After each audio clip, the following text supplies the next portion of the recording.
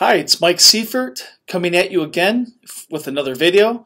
So today's topic is, does formal education matter in business? So let's begin.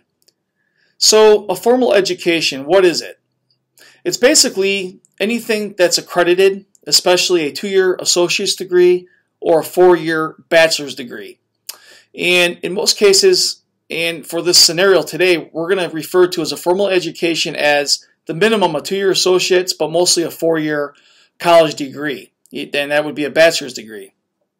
So, you know, I had people ask me, does it matter? Uh, you know, is it something that's super important? Uh, does that mean that you won't be successful without a degree? Absolutely not. A degree doesn't really matter this day and age. It's really, um, it's almost like a racket uh, this day and age for the colleges to make a lot of money. However, um, you know, depending on what school you go to, depending on what field you go into, and depending on if you're looking for a job or not, that is going to determine how important a college degree is. For example, if you're going to try to get a job at General Motors or Ford Motor Company, and most of those jobs are engineering jobs, unless you're in the finance department, they have a legal department, these are huge co corporations, they have 50 different departments. However, um, they're going to want to see some type of formal degree in uh, engineering, uh, math, uh, something like that, something technical. Now, uh, other scenarios where you may necessarily don't need a four-year degree would be uh, technically like a full-stack web developer. If you can show a portfolio of experience of how awesome your websites are, how awesome your programming skills are to a big corporation like Google, sometimes they'll hire you without a four-year degree. So it just matters who you ask. Now, me personally, I do have formal education. I completed that as a non-traditional student after many years, and it was important to me just to accomplish uh, something that I didn't think I could ever accomplish just because I never focused. And once I was able to focus on my formal education, um, I completed it. And I went to the University of Michigan in Ann Arbor, where it was a really tough school to get into.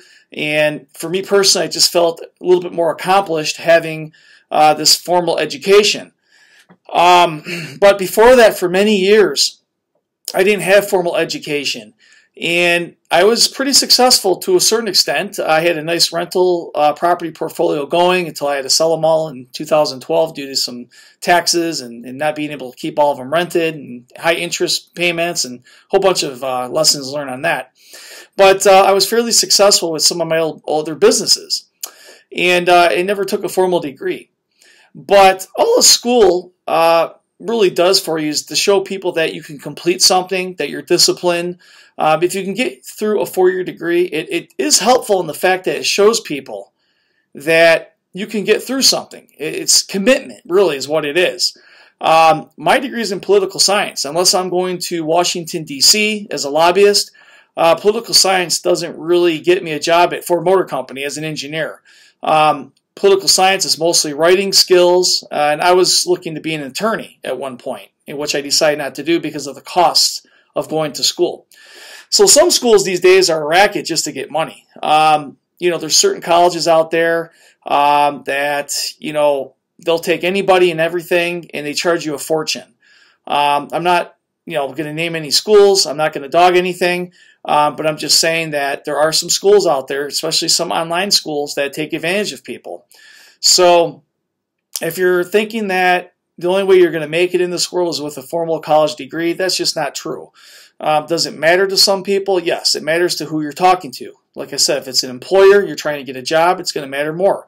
If you're an entrepreneur, your communication skills and people skills, that's what's going to set you apart in entrepreneurship and how smart you are as far as making the right decisions and your knowledge um, retention and your knowledge uh, gathering.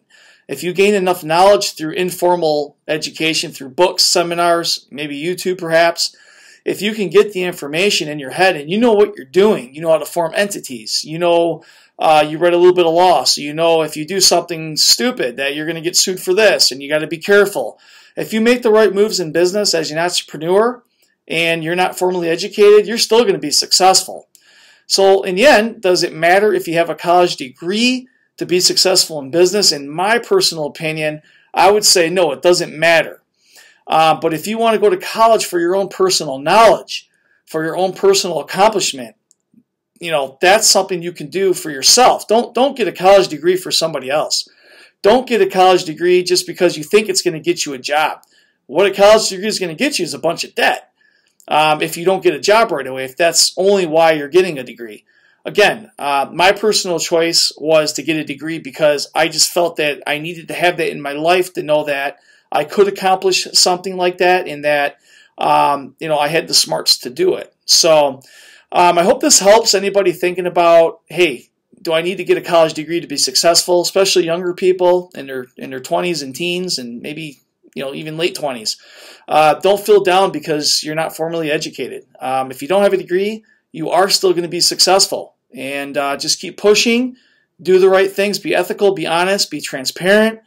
And uh, meet the right people. Network is important. You have to meet the right people out there and uh, be respectful and uh, don't burn any bridges. Uh, I've burned bridges in my past, and um, you know it wasn't helpful. I mean, people remember if you burnt their bridges, and they, they get mad, and they, they don't like you. They remember what you did from years ago. So if I burn any bridges out there with anybody that sees this video, I apologize greatly. I'm not the same person I was, uh, you know, 10, 12 years ago uh, in my 20s. Uh, you know, as someone gets into their late 30s, uh, they start to learn a lot. So um, you have to understand too that uh, over time people change. Uh, hopefully, most people change uh, if they're in business. Some people don't change.